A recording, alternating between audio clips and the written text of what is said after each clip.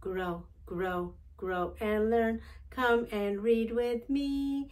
Let's get together and have fun. Come and read with me. Assalamu alaikum and hello friends.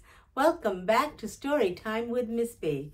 My Story Time pals, Ahmed, Timmy, and Jackson are so excited that you can join us. So let's move on to our next story for our Ramadan Night series. Today's story is called Who Will Help Me Make Iftar by Asmaa Hussein and illustrated by Saleha Kaliska.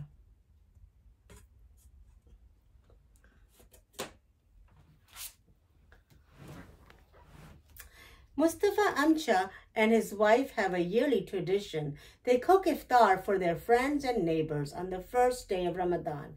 This year, Mustafa Amca's wife is sick and can't help him cook. Will he be able to find others to pitch in and create a meal for everyone to enjoy?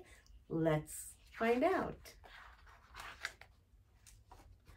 Every year on the first day of Ramadan, Mustafa Amca and his wife cooked a delicious meal for all their neighbors, but his wife Aisha Taizi was not well this year. Let's cancel the iftar, she said. Our neighbors will understand. No, we must continue our tradition, Mustafa Amca replied. I'll prepare the soup, the rice, the beef gawarma, the salad, and the Revani all on my own. I've watched you do it for 40 years. But who will help you?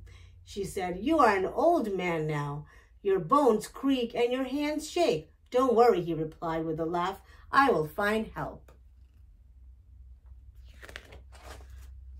Mustafa Amca called out to his daughter, Halima, will you help me buy the dates to break our fast?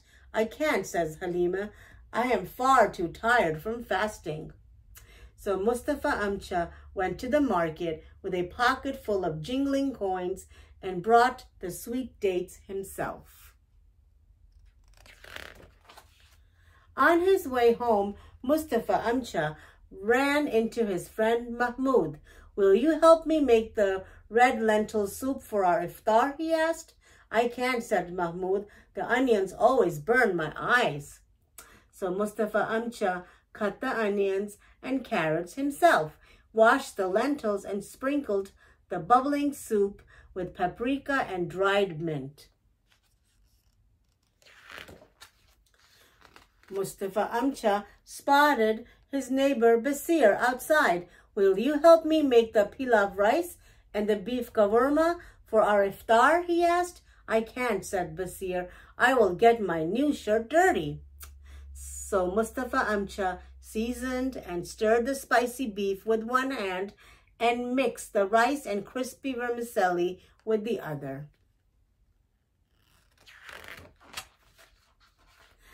Mustafa Amca found his granddaughter Zainab playing a video game. Will you help me cut the cucumbers and tomatoes for the salad? he asked. I can't, Zainab said. I'll, if I leave my game now, I'll lose all my points. So Mustafa Amca sliced and diced a mountain of tomatoes and cucumbers himself and topped them with feta cheese and a handful of black olives. The delicious smells of Mustafa Amca's cooking tickled his family's noses. It filled the air and made his neighbors' mouths water. It was finally time to break the fast. Who will eat some dates with me? Mustafa Amca called out in the masjid. But I did not help you buy the dates, says Halima. How can I break my fast with them now? God love those who feed fasting Muslims, Mustafa Amca said. He passed the juicy dates around to all the fasting men and women. After prayer, Mustafa Amca motioned for everyone to come into his courtyard for a meal. But I did not help you make the pilaf rice or the beef kawarma, said Basir. How can I enjoy it now? And I did not help you cut the onions for the lentil soup, said Mahmoud. How can I sit and slurp it now? And I did not help you cut the salad, said Zainab. How can I happily munch on it now? Mustafa Amchal laughed and he said, God loves those who are generous, especially to their families, neighbors, and guests.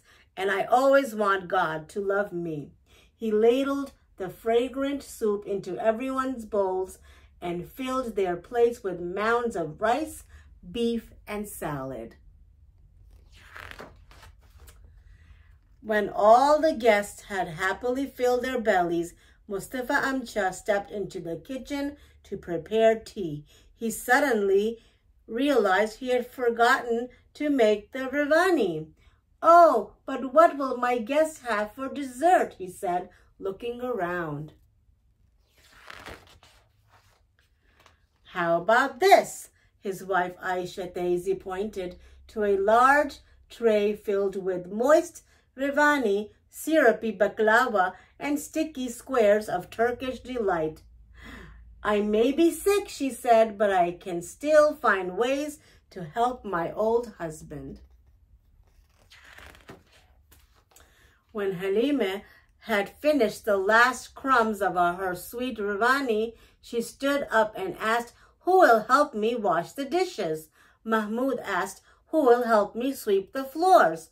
Basir asked, Who will help me take some food to the needy? The neighbors washed the dishes, the children swept the floors, and their friends made plates of food to share with the needy. When Mustafa Amca heard the call to Isha prayer, he stood up. Before he could ask, all the voices around him said together, Yes, we will all come and pray with you.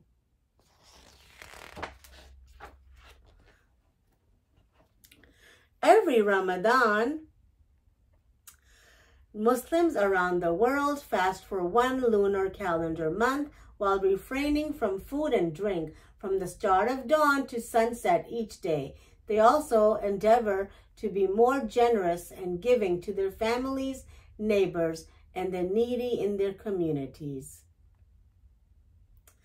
Name pronunciation tips. Mustafa Amca. Mustafa Amja.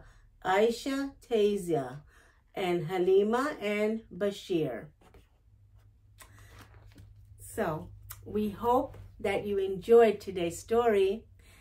So let's move on to counting down the days of Eid.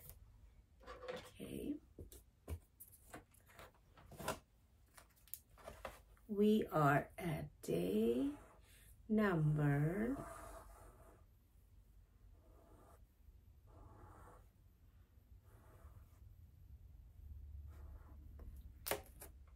number 16. 16 days left until Eid. Until next time, see you soon. Assalamu alaikum. Bye now.